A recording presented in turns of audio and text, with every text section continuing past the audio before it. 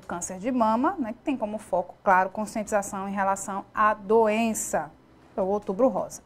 Mas o preconceito e o desconhecimento ainda são barreiras para a prevenção de certos grupos, a exemplo dos homens e mulheres trans. Vamos chamar Juliana Santos novamente ao vivo. Então, Juliana, essa população também precisa se cuidar em relação ao câncer de mama, né? Exatamente, Renata. A campanha do Outubro Rosa, ela também precisa, né? Ela é uma campanha que inclui também a população trans, que precisa, né, passar por todo o processo do autoexame, né, das consultas periódicas. Então é importante a gente reforçar isso também. Para a gente conversar um pouco mais sobre isso, é, Kelly Pessoa está aqui comigo, coordenadora do curso de enfermagem da Uninasal Caruaru e doutora em saúde Pública. Professora Kelly, bom dia. Bem-vinda mais uma vez à Rádio Cidade. Por que é tão difícil, né? Por que é mais difícil para a população trans ter acesso né, aos serviços de saúde, aos sistemas de, de prevenção, já que a gente está reforçando tanto a importância né, da campanha do Outubro Rosa? Bom dia.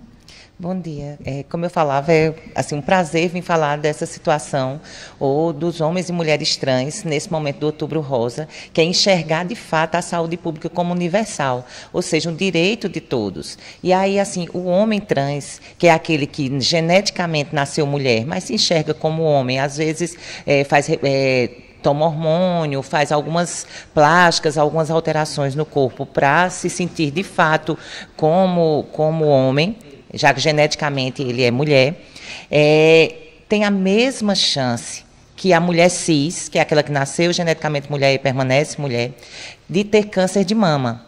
E aí, assim, essa população tem que fazer o rastreio, a investigação para detecção precoce.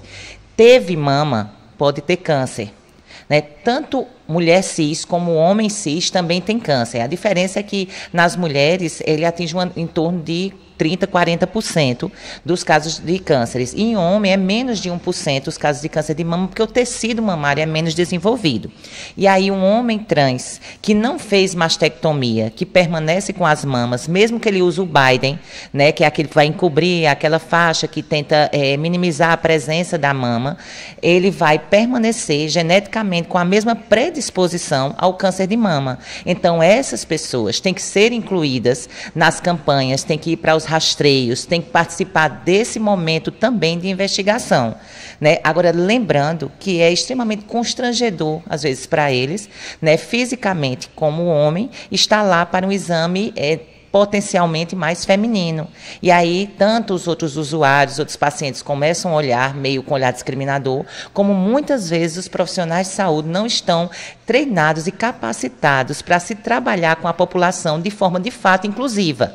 E aí, assim, é uma necessidade que os profissionais de saúde, os serviços de saúde e os serviços de forma geral se capacitem, se atualizem para atender a população toda a população, de forma universal, como é garantido pelo SUS, sem nenhuma discriminação, nem a discriminação de gênero. Mama não tem gênero, ele tem tecido. E era algo que eu ia até lhe perguntar, né? É, é, se os profissionais de saúde realmente precisam né, se qualificar mais para fazer esse atendimento mais inclusivo, porque deve ser extremamente constrangedor para a população trans ter que ir para um, um ambiente ali que talvez não se sinta tão bem, né? Como você mesmo disse, o homem trans vai com uma população ali aguardando extremamente feminina, mas ele está lá no meio. Então, realmente parte é, é, essa, essa inclusão parte muito né, dos profissionais de saúde. Sim, os serviços têm que estar adaptados. A gente não faz mudança de horário para atender homens cis que trabalham, que não podem estar naquele horário. Por que não fazer uma agenda exclusiva, né? uma agenda diferencial para a população que não é cis, né? para a população que faz parte das outras categorias do LGBTQI1+, e as demais siglas? Né? Por que não atender essa população, sabendo que ela tem a mesma chance de ter câncer de mama? O câncer de, de mama em homens trans, é, em mulheres trans, ou seja, aquele geneticamente nasceu homem e se sente mulher, inclusive faz reposição hormonal, tem uma possibilidade aumentada de 40% em relação aos outros homens que homens cis de ter câncer. Então, enquanto na população de homens cis a chance é de menos de 1% de ter câncer de mama, nessa população de mulheres trans, que são aqueles que nasceram homens e fizeram reposição hormonal, algumas plásticas para, para se sentir mulher, né, para estar mulher, como é o que ele se sente psicologicamente, então a, a chance de ter câncer aumenta em 40%. Então essa população, além de, eh, da saúde, além de trabalhar essa questão da inclusão, tem que trabalhar o conhecimento também, para ver a forma de rastreio para esses, eh, essas mulheres trans que fazem uso dos hormônios, né, eles fazem uso de estrógeno, e esse estrógeno nessa população aumenta a possibilidade também de ter câncer de mama, afinal eles vão desenvolver o câncer de mama. Não é a questão do silicone. Os estudos não comprovam nem que o uso de silicone né, vai aumentar ou não a possibilidade de ter câncer de mama. É, a pessoa tem que fazer o rastreio, como toda pessoa é, que tem mama faça.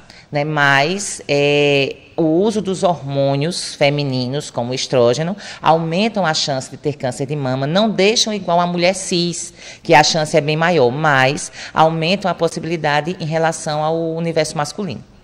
Professora, eu queria que você aproveitasse né, para reforçar, para quem está nos acompanhando aí, aqui na Rádio Cidade, a importância da população trans, não só no outubro rosa, mas também durante todo o ano, de fazer né, o, o exame, o autoexame de mama, fazer os exames preventivos regularmente, para cuidar da saúde de forma efetiva, é, sem, sem tentar, tentando não se preocupar tanto né, com o que a gente encontra aí na sociedade. Reforça essa importância para a gente. Gente, ó, é, mesmo o autoexame, ele não sendo definitivo o diagnóstico, mas as pessoas têm que tocar, tocar sua mama para identificar, no dia que aparecer algo diferente, identificar que algo ali está diferente. Né? Mesmo assim, os rastreios, ou seja, os exames de detecção precoce, que eles não são preventivos, os exames não previnem que você tenha câncer. Os exames, a mamografia, a ultrassom mamária, a ressonância, a biópsia, eles detectam precocemente para que a chance de tratamento seja maior.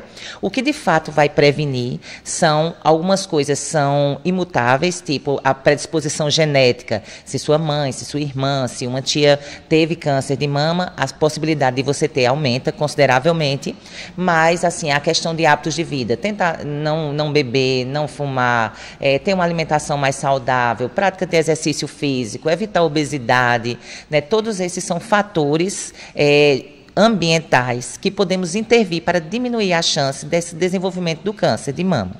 O rastreio, né, que são os exames pela Sociedade Brasileira de Mastologia, ele deve ser feito a partir dos 40 anos com a mamografia e ultrassom dependendo da densidade mamária, ou um complementando o outro. Pelo Ministério da Saúde, os exames são bianuais, a cada dois anos, fazem uma mamografia a partir dos 50 anos, que é a faixa etária mais acometida pelo câncer de mama. Aí fazer essa mamografia a partir de 50 anos e dando normal, você pode fazer com dois anos depois. Né? E a ideia é conheça a sua mama, procure o profissional de saúde para fazer esse o acompanhamento e a detecção precoce. Tente essa mudança dos hábitos de vida para retardar ou mesmo inibir o desenvolvimento dessas células cancerígenas. E para os profissionais de saúde e a população em geral, a população é, trans, tanto homem trans como mulher trans, procurar os serviços de saúde, lembrar que além do, do preconceito tem a sua vida, que é muito importante, é muito importante para as pessoas que o amam, é muito importante para quem de fato quer fazer uma saúde pública com garantia de serviços. E informar aos gestores, né, os gestores municipais, que lá na Unassal a gente tem uma liga que trabalha essa questão da inclusão e que é, atualiza os profissionais de saúde sobre as formas de tratamento e sobre os cuidados com a população, muitas vezes minorizadas, que são as populações trans, cis e gêneros diferentes do cis. Perfeito, professora Kelly, muito obrigada pelas orientações. Kelly, pessoa aqui com a gente, coordenadora do curso de enfermagem né, do Uninassal Caruaru e doutora em saúde pública. Né? A gente está reforçando a importância da campanha do Outubro Rosa, que também é uma campanha que precisa ser é, é, feita de forma inclusiva, né, até porque a população trans também precisa ser abraçada por essa campanha. A população também precisa fazer o autoexame de mama, fazer né, os exames de rastreio, como a professora disse aqui para a gente, é de extrema importância que essa população também participe da campanha do Outubro Rosa. Renata. Obrigada, Juliana, pelas informações. O Outubro Rosa também, né?